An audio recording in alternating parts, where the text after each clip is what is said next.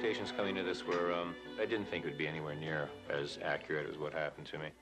I have no control over who shows up, and if the people that you do want to hear from do come through, I have no promise that they're going to tell you what you're expecting to hear. I'm Tom Jack. Uh, I own a nightclub in Manhattan called the Spiral Lounge. Tom, the first thing that's being shown to me is a male figure who's crossed over, like a father-type figure, which me would indicate that your dad has crossed over. Do you understand that? Mm -hmm. Okay, so your dad has passed. Yes. Alrighty. Your dad is. I was amazed he got off to it so quickly. He's also pointing to his chest. And at first I was like, okay, this could be something. Like this is what causes his passing. There's like an explosion in the He chest. died of a heart attack. Okay, because I feel like there's like a big explosion that happens here. He's telling me to let you know that he's okay. Some of the smaller things, you know, he said my father had an explosion in his chest. My father did die of a heart attack. I believe this is coming from your mom. Is she the one with the cancer? Yeah. Okay, because she's telling My me. mother did die of cancer. I never told him that. He told me which that. means that the month of April has a meaning to her. It's my birthday. It's your birthday. Okay. Well, is she trying to tell me she passed by your birthday and that's a celebration? No. Now, she's also telling me to talk about being out of state or upstate. I don't feel like you're in the area that I would know you from. So, are you not from New York or is there a No, I'm not from New York. Okay. Now, do you have a sister? Yeah. Is she getting married? No. Is there a marriage that took place for her after your mom passed? Uh, Your mom's telling me that after her, pa- after her passing, she went to yes. a wedding. Yes. She's telling me to tell her Really? she was at the wedding. There was points where I had to just laugh because there's no way he could have known these things. Um, and there was other points where I really felt like I felt an energy in the room. I felt the presence of people in the room, or, or not people, but I felt the presence of something in the room that wasn't there before we started. Now, is there another brother besides you? Yeah. Okay, because now she's telling me she's bringing her, your brother with her. She's bringing your brother through. Why is there so much green around him? Was he like in Ireland or Scotland? Where was he?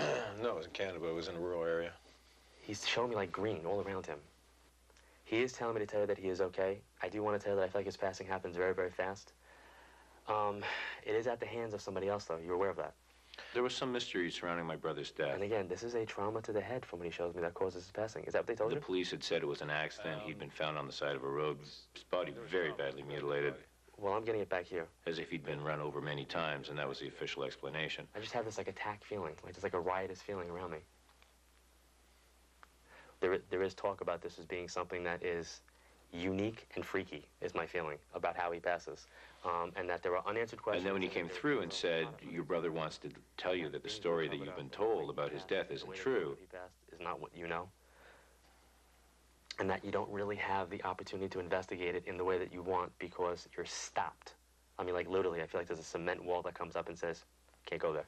uh, I was totally shocked because how would anybody know that? That was like 26 years ago.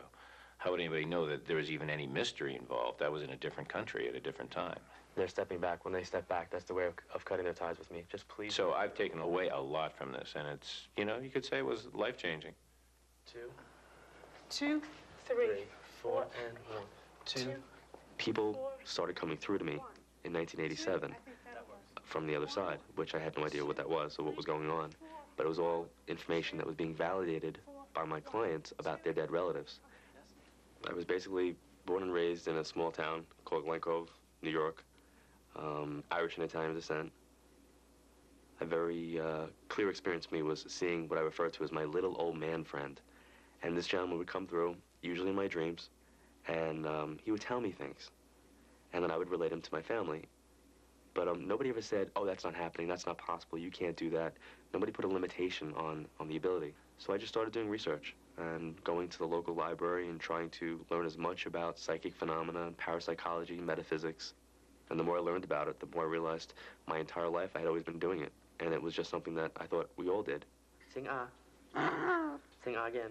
Initially, I wanted to, you know, open a deli and do that. And then I strongly had a desire to go into healthcare, which I did.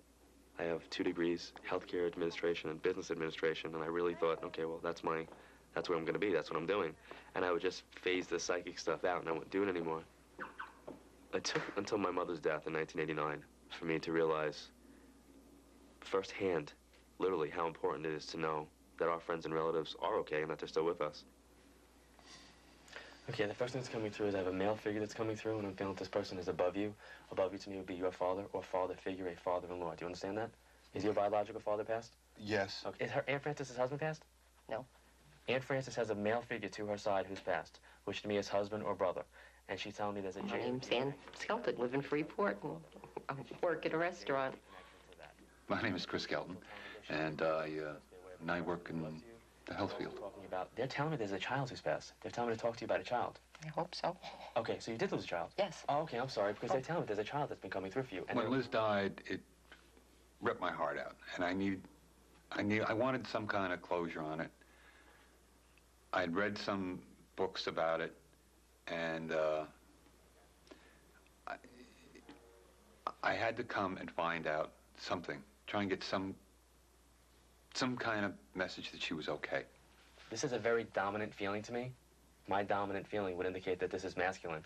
Um, however, we can have a daughter coming through that's got a very strong energy attached to it. Well, one of the things when he, first he was confused and said masculine because she was she was six one. First thing on the scene is my feeling, kind of like, and this big burst of energy, like he said, he felt like she was bursting in on the scene, and that's just how she entered every room. You know, she burst in and took over the whole room.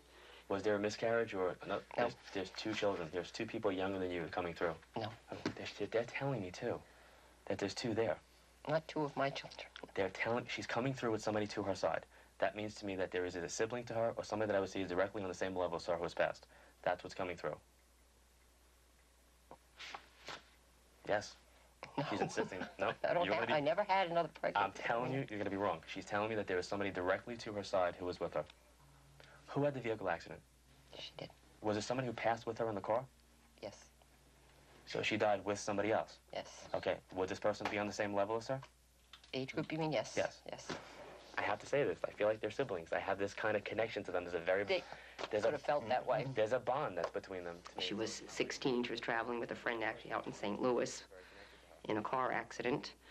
Like I said, the girl who he referred to, who was, who was with Liz, died instantly in the accident. Liz survived for eight days out in St. Louis. So she's pretty feisty. So I was gonna say, I don't think she'd yeah, let you. I don't really have to work too hard because she's being pretty insistent.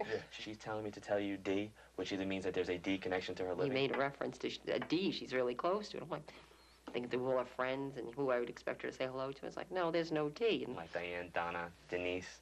There's a DN connection, and I feel it close to me. So this is somebody that's close to her.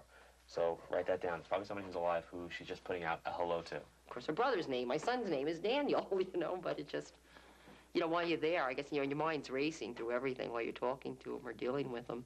Now, did you have one picture of her in your wallet that you took out and then put in another one?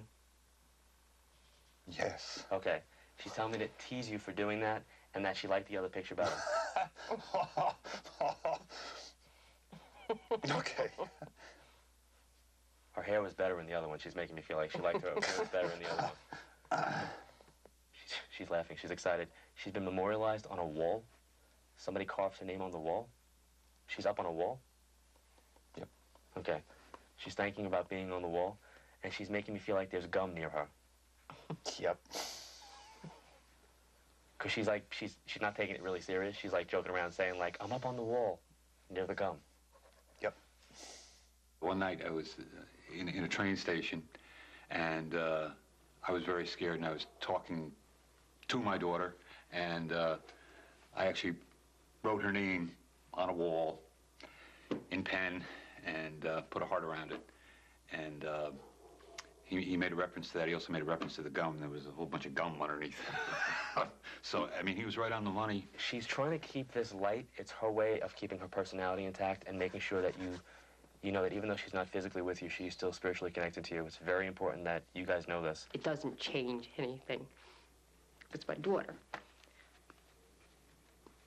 But it's a, it's a, you know, I mean, like, I, I believe before I came here that she was still with me, and I guess it just confirms that. She's there. That little handwriting on the wall, that uh, she, and I was really talking to her that night. You know, it was amazing. And he, he pulled that out of nowhere. That that's nobody knew of that. So I mean, it, it had to be.